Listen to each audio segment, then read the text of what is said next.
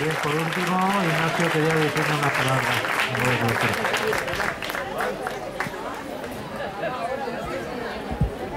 Yo solo tengo que decir una cosa. Iván... Ven, Iván. Ven.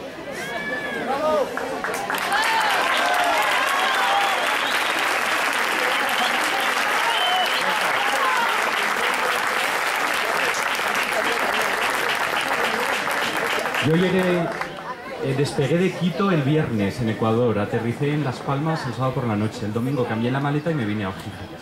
Y cuando llegué a Ojíjares me encontré a Iván, que tenía ocho años, tiene ocho años, no hemos crecido desde entonces, y me dijo, yo quiero ser director.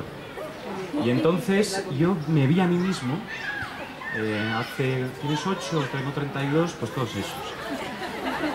Y me vi a mí mismo en la figura de él y en cada uno de los músicos de, de la banda de Ojíjares. Esto es fundamental para que la sociedad siga viva. No hay que perder esto nunca. Eh, la política, la gestión pasará. La educación, la música y los seres humanos no pasaremos. Y gente como este niño, o como todos estos, o como todos los que estáis ahí, merecéis que hagamos un esfuerzo emocional, un esfuerzo eh, logístico y un esfuerzo de todos los colores, porque hagamos lo que hagamos, eh, estamos empeñando nuestro futuro.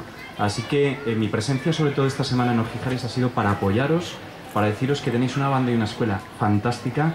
Alcalde, te tomo la promesa, así que el año que viene estoy aquí volviendo a dirigir a la misma banda con una escuela todavía más consolidada. Muchas gracias a todos y hasta el año que viene.